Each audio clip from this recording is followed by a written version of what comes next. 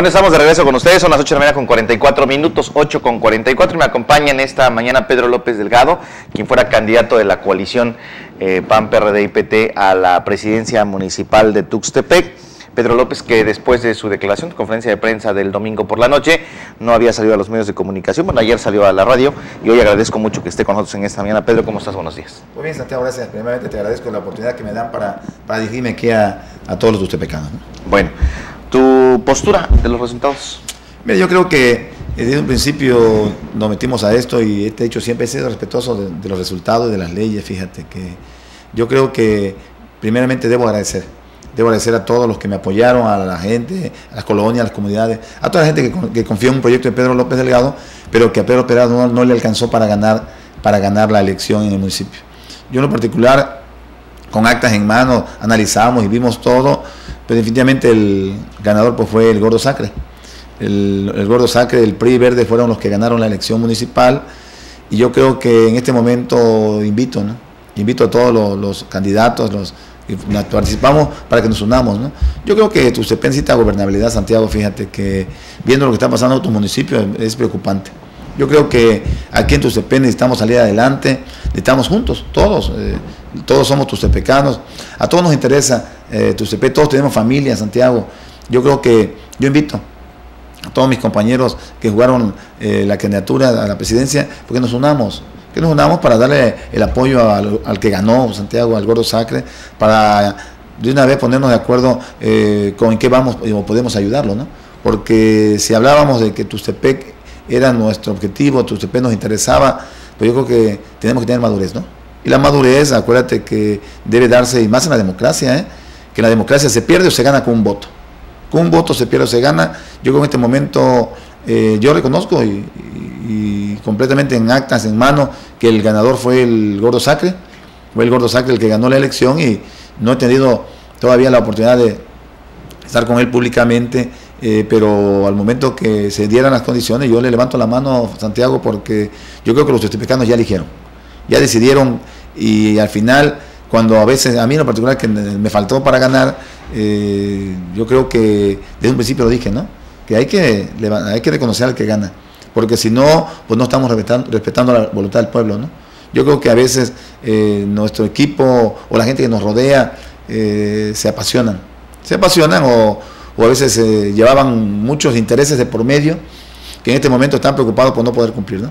Yo creo que en mi caso hablé con todos desde el principio y fíjate que mmm, la gente está puesta, pero sobre todo está convencida.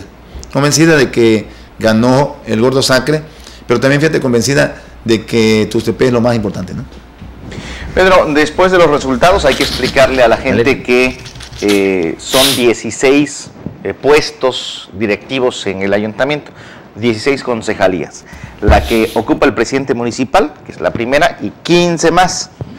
El candidato que gana, por eso registra 11, porque se lleva su concejalía y 10 más.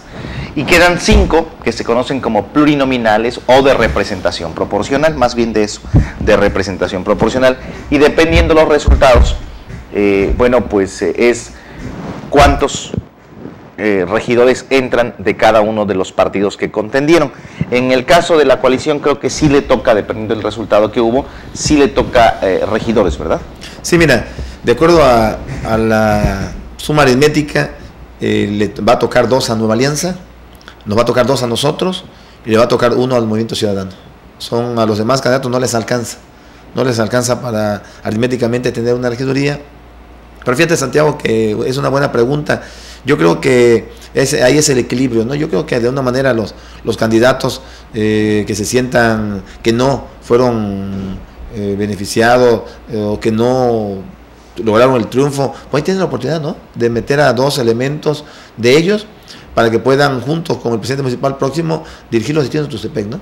Y que se vuelvan parte del, del gobierno, no se vuelvan eh, títeres de nadie, ¿no? Yo creo que en este momento Tuxtepec necesita gente, gente de trabajo, gente que, que llegue a cambiarlo. Y yo en este momento te lo juro que las personas que vayan a hacer por nosotros van, van a sumarse al proyecto del Gordo Sacre, se van a sumar eh, siempre y cuando sea el proyecto por Tuxtepec, ¿no? El proyecto Tuxtepec. La ley te asiste el derecho a ser regidor. ¿Vas a aceptar la regiduría? En eso estoy, Santiago. Fíjate que estoy analizando eh, lo con mi familia, lo estoy analizando bien. Eh, no he tomado la decisión todavía, todavía no la he tomado. Estoy esperando, estoy esperando eh, sentarme con todos mis compañeros concejales, los que iban conmigo de concejales, y yo creo que íbamos a tomar las decisiones. Porque al final de esto, yo creo que no es tanto quien vaya de nosotros, sino que tienen que ir dos, ¿no?